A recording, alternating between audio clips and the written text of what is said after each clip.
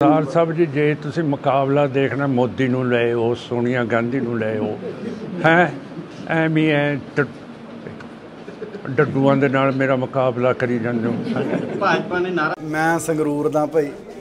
ਮੈਂ ਐਡਾ ਵੱਡਾ ਲੀਡਰ ਨਹੀਂ, ਮੈਂ ਤਾਂ ਸੰਗਰੂਰੋਂ ਹੀ ਲੜ ਸਕਦਾ। ਸਿਮਰਜੀਤ ਮਾਨ ਜੀ ਨੂੰ ਕਿਹੜਾ ਨਿਆਣੇ ਆ ਪਤਾ ਹੋ ਵੀ ਮੋਦੀ ਜੀ ਕਿਹੜੇ ਹਲਕੇ ਤੋਂ ਲੜਦੇ ਆ, ਸੋਨੀਆ ਗਾਂਧੀ ਜੀ ਕਿਹੜੇ ਹਲਕੇ ਤੋਂ ਲੜਦੇ ਆ, ਜਾ ਕੇ ਉੱਥੋਂ ਲੜ ਲੈਂਦੇ। ਸੰਗਰੂਰੋਂ ਵੀ ਮਾਨ ਸਾਹਿਬ ਬਾਹਰੋਂ ਆ ਕੇ ਲੜਦੇ ਆ। ਤੇ ਬਾਕੀ ਮੈਂ ਮਾਨ ਸਾਹਿਬ ਦਾ ਸਤਿਕਾਰ ਕਰਦਾ, ਉਹਨਾਂ ਨੂੰ ਬਹੁਤ ਛੋਟਾ।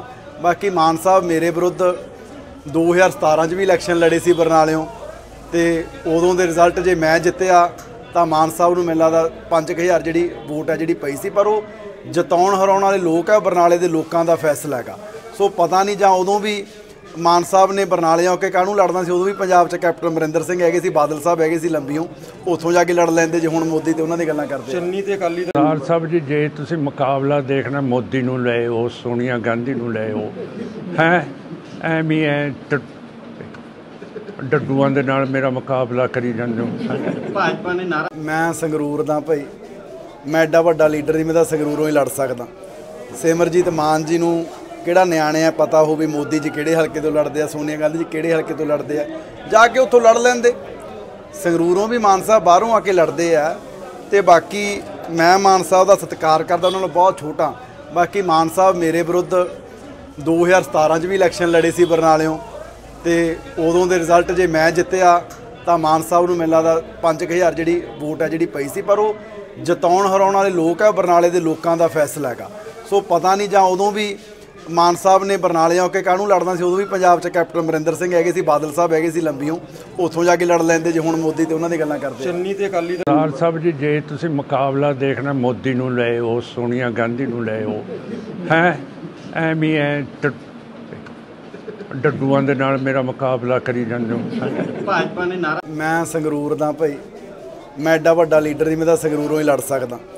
ਸਿਮਰਜੀਤ ਮਾਨ ਜੀ ਨੂੰ ਕਿਹੜਾ ਨਿਆਣੇ ਆ, ਪਤਾ ਹੋਵੇ ਮੋਦੀ ਜੀ ਕਿਹੜੇ ਹਲਕੇ ਤੋਂ ਲੜਦੇ ਆ, ਸੋਨੀਆ ਗਾਂਧੀ ਜੀ ਕਿਹੜੇ ਹਲਕੇ ਤੋਂ ਲੜਦੇ ਆ। ਜਾ ਕੇ ਉੱਥੋਂ ਲੜ ਲੈਂਦੇ।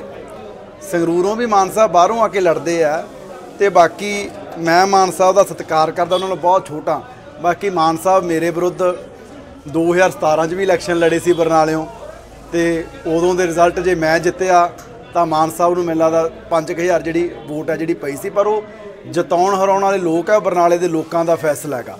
ਸੋ ਪਤਾ ਨਹੀਂ ਜਾਂ ਉਦੋਂ ਵੀ ਮਾਨ ਸਾਹਿਬ ਨੇ ਬਰਨਾਲੇ ਆ ਕੇ ਕਾਹਨੂੰ ਲੜਨਾ ਸੀ? ਉਦੋਂ ਵੀ ਪੰਜਾਬ 'ਚ ਕੈਪਟਨ ਅਮਰਿੰਦਰ ਸਿੰਘ ਹੈਗੇ ਸੀ ਬਾਦਲ ਸਾਹਿਬ ਹੈਗੇ ਸੀ ਲੰਬੀਓਂ ਉੱਥੋਂ ਜਾ ਕੇ ਲੜ ਲੈਂਦੇ ਜੇ ਹੁਣ ਮੋਦੀ ਤੇ ਉਹਨਾਂ ਦੀ ਗੱਲਾਂ ਕਰਦੇ। ਚੰਨੀ ਤੇ ਅਕਾਲੀ ਦਲ ਸਰਦਾਰ ਸਾਹਿਬ ਜੀ ਜੇ ਤੁਸੀਂ ਮੁਕਾਬਲਾ ਦੇਖਣਾ ਮੋਦੀ ਨੂੰ ਲੈ ਆਓ ਸੋਨੀਆ ਗਾਂਧੀ ਨੂੰ ਲੈ ਆਓ ਹੈ? ਐਵੇਂ ਐ ਡੱਡੂਆਂ ਦੇ ਨਾਲ ਮੇਰਾ ਮੁਕਾਬਲਾ ਕਰੀ ਜਾਂਦੇ ਹੈਂ। ਭਾਜਪਾ ਨੇ ਨਾਰਾ ਮੈਂ ਸੰਗਰੂਰ ਦਾ ਭਾਈ। ਮੈਂ ਐਡਾ ਵੱਡਾ ਲੀਡਰ ਨਹੀਂ ਮੈਂ ਤਾਂ ਸੰਗਰੂਰੋਂ ਹੀ ਲੜ ਸਕਦਾ। ਸਿਮਰਜੀਤ ਮਾਨ ਜੀ ਨੂੰ ਕਿਹੜਾ ਨਿਆਣੇ ਆ, ਪਤਾ ਹੋ ਵੀ ਮੋਦੀ ਜੀ ਕਿਹੜੇ ਹਲਕੇ ਤੋਂ ਲੜਦੇ ਆ, ਸੋਨੀਆ ਗਾਂਧੀ ਜੀ ਕਿਹੜੇ ਹਲਕੇ ਤੋਂ ਲੜਦੇ ਆ। ਜਾ ਕੇ ਉੱਥੋਂ ਲੜ ਲੈਂਦੇ। ਸੰਗਰੂਰੋਂ ਵੀ ਮਾਨ ਸਾਹਿਬ ਬਾਹਰੋਂ ਆ ਕੇ ਲੜਦੇ ਆ ਤੇ ਬਾਕੀ ਮੈਂ ਮਾਨ ਸਾਹਿਬ ਦਾ ਸਤਿਕਾਰ ਕਰਦਾ, ਉਹਨਾਂ ਨੂੰ ਬਹੁਤ ਛੋਟਾ।